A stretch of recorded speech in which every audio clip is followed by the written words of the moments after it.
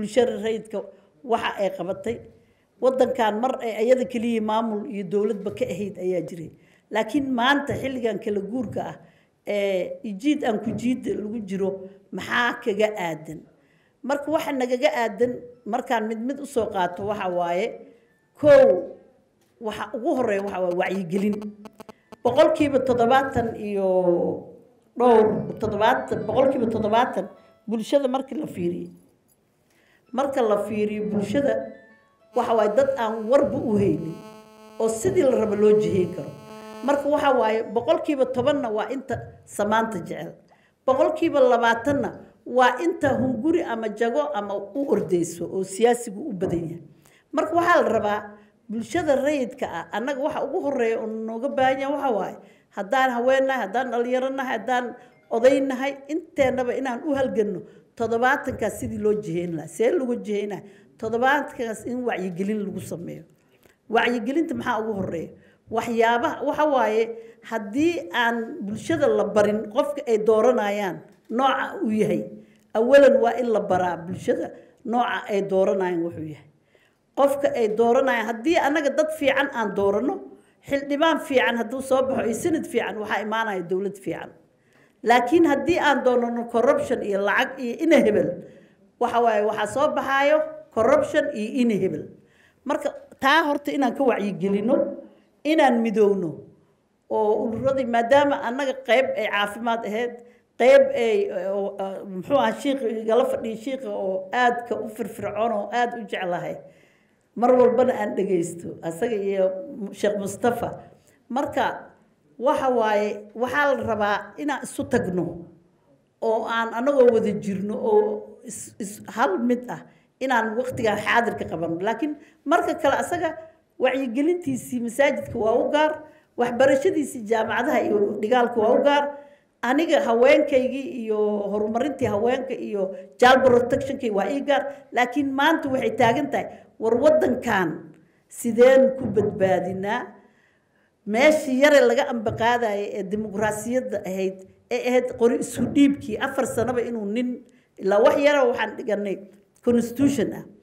Constitutionkii hata malihi ma haysano wax afti ma haysto ma dhammaystirna waxaa hadda la isku habaaraa lagu ducaystaa cimrigaaga cimriga constitutionka alla ka dhig. Yacni waa waxaan dhammaanayn. Marka waxaa la rabaa kaas yareen buuggaas yareen qoranay in la haayo jidkiisii oo jidkiisii lagu socdo. Marka jidka lagu soconayo intaas waxaa noo qorneed afartii sanaba inaan doorasho galno. Laga soo bilaabo carto oo saddex sano ah yacni dowlad dhisidiyaan ku jirnaa. Marka hadduu kaas naga fakado oo meeshaas aan ka tagno garoonkaas aan ka duulayno waxa waaye dimuqraadiyad ma jirayso dowlad wanaagna ma jirayso. Marka taa inaan ku midn see ugu mintidayna ma aha qori caaradiis waxa waaye dadkan in wax la fahamsiiyo waay midda kale oo aan dhihi karo meesha waxaa loo baahan yahay waxa waaye horta bulshada rayidka haddii wax laysku raaco waa sidaa rabnay. Waxa aan annaga meesha doorka nooga bannaan waxa waaye korjoogto inaan goobahaas korjoogto ku sameyno oo aragno. Waa in annaga iyo miidiyaha aan shaqeyno. Waa in cod midaysan oo lagu kalsoonaan karo oo xog urursan. Dad loo qaateena waa inay noo fadhiyaan meesha sida tahliiloo kaleeto oo guddoomi shaatax oo muddo soo shaqeeyey dad la yaqaano barofesooraan leenahay gabdho fifiican oo magac lahaan leenahay. Ugaaso aniga ma arkin dadkana kama aqaan laakiin waa waa maqlayo waayahan waa gabar firfircoon waa la mid boqol ugaasoo kalaa jiro. Marka dadkaas inaan meel inta iskugu keenno meediyaha iskugu keenno seejooyinkana aan ku yeelano dad xogogaal ah oo deegaankaas laga yaqaano laga ixtiraamo oo korjoogto ah. Shaqooyinka doorka oo noo bannaan korjoogtadaas waay annaga qayb kama noqonayno. Midda labaad waxa waaye waxaan u joognay oo waayo arag u nahay oo documented ay ka sameeyeen sonsa ay samaysay labada kun lix iyo tobankiyaa jiro. Marka waxaa la rabaa documentigaas inaan la wadaagno bulshada iyo khaasatan labada siid labada doorashada ay loo soo doorto. Dadkaas in la baro oo la tuso sixteenkii wixii dhacay in lala wadaago.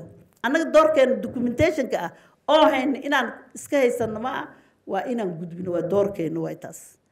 Marka waxa waa ku dheeraaday macalinna microfon looma dhiibo marka waxa kale waxaan la qaybsan doonaa asxaabteyda doorka bulshada rayidka u bannaan wax yar oo wacyigelin ku kooban ama ku kooban laakiin unitiga waxa ugu horreeya waa unitiga in la midoobo maanta lagu midoobo in micnaha nimankaana faraqa lala qabsado oo la la maqlo oo la dhaho enough is enough.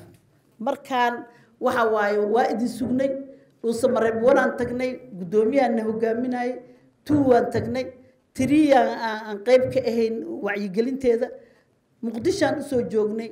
Haddaan arkaynaa xalane afisyoon inu nagu soo noqo maanta waa nasiib darro weyn. Marka waxaasoo dhan waxaa waaye horta waxaa waaye aamusnaanta inaan raalli taha loo malayaa caalamkana inaan maqashiino inaan waxaan socdo raalli ka ahayn. Annagana inaan wixii leenahay inaan dareysiino toddobada nin ama shanta nin ee meelaha ku kulmaayo. Magacayga adnaa la idhahda waxaanan ku noolahay sweden transfer galaxy waxay iga caawisay inay si keen xidho xidhiir fiican aniga ee asxaabtay iyo waalidkayga. Transfer galaxy waxaan u doortay sida uu u sahlan yahay iyo sida uu u dhaqso badan yahay